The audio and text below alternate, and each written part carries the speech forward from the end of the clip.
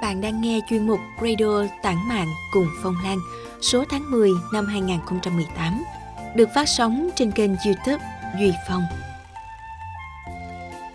Xin mến chào quý anh chị yêu thích Hoa Lan. Chúng ta lại được gặp nhau trong chuyên mục Radio Tản Mạng cùng Phong Lan. Trong các số phát sóng vừa qua, ngoài những bình luận tích cực gửi về chương trình, thì cũng có một số ít phản đối kênh khi mà thực hiện chuyên mục radio này. Trước hết thì những người thực hiện chương trình xin được gửi lời cảm ơn anh chị đã luôn theo dõi kênh cũng như là lắng nghe chuyên mục radio tản mạng cùng Phong Lan.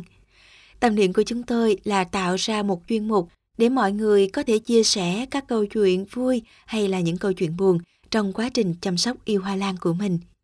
Ngoài những video bán lan, tư vấn về kỹ thuật trồng, thì đây như là một góc tâm sự để anh chị có thể chia sẻ những câu chuyện hàng ngày của mình đến với mọi người cùng chung niềm đam mê. Hy vọng sau những giờ làm việc căng thẳng, anh chị sẽ tìm cho mình một góc nhỏ bên vườn lan. Vừa mở radio tản mạng cùng Phong Lan, vừa nhâm nhi tách trà nóng hổi anh chị nhé. Và sau đây mời anh chị cùng lắng nghe đôi dòng dành cho các bạn mới chơi lan của anh Dũng đến từ Hà Nội. Các bác biết đó, khi mới chơi lan tôi bị lạc vào một thế giới mà ngay cả bây giờ tôi cũng không hiểu vì sao họ lại vẽ ra quá nhiều điều phức tạp như vậy. Có những điều đúng, có những điều sai và có những điều không sai nhưng rất thừa. Nó giống như ma trận vậy, khi lạc vào rồi ta chẳng biết ta đang ở đâu. Đã là dân chơi lan, không chuyên nghiệp thì mấy ai có thời gian đâu mà tưới theo giờ nọ giờ kia, phân nọ thuốc kia lưới thế này, thế khác. Thậm chí có bác còn vẽ ra sơ đồ tưới, chăm sóc bổ sung, thuốc nọ thuốc kia, khoáng nọ khoáng kia như ma trận, làm cho cây lan trở nên huyền bí, khó trồng và làm cho nhiều anh em tốn tiền bạc và công sức.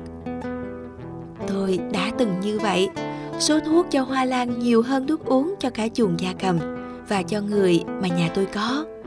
Rồi thì cái nọ cái kia, bổ sung thế này thế khác – nhiều thứ quá mà giờ đây tôi có thể khẳng định rằng hầu như tất cả kiến thức tôi học được chỉ một phần là đúng. Tôi nhớ mãi câu nói của anh trần tuấn anh. Anh nói như thế này, em tin anh đi, nó lên như rau, ý mà. Và giờ đây đúng thật.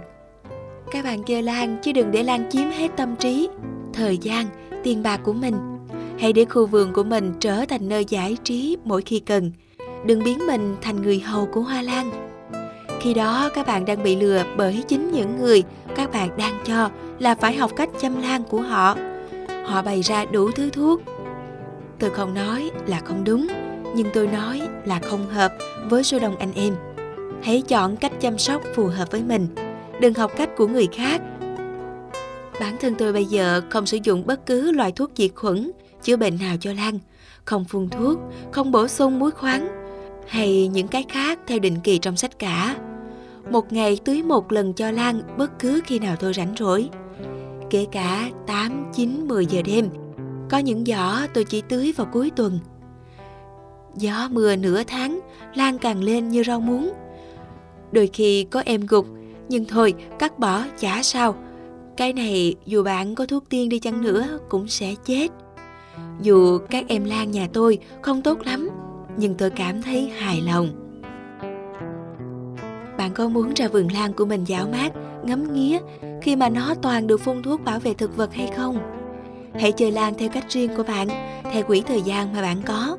Cá nhân tôi mỗi ngày dành 5 phút tưới, lúc nào thích thì ngắm nghía, thi thoảng đi dự hội. Cách trồng và chăm sóc của tôi không phải cách tốt nhất để chăm sóc cây hoa lan, nhưng nó là cách tôi cảm thấy chắc chắn phù hợp nhất với đông đảo các anh em mới chơi không ảnh hưởng thời gian của nhiều người và cả sức khỏe nữa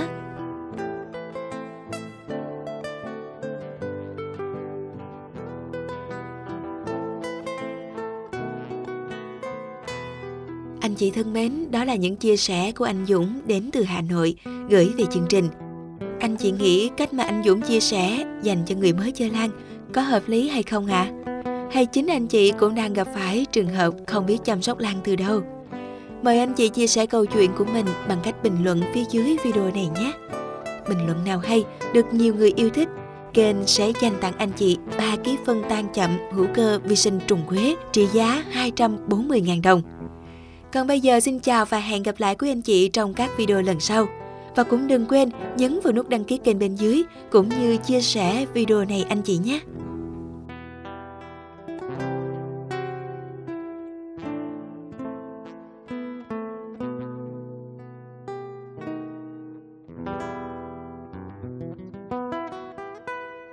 Bye.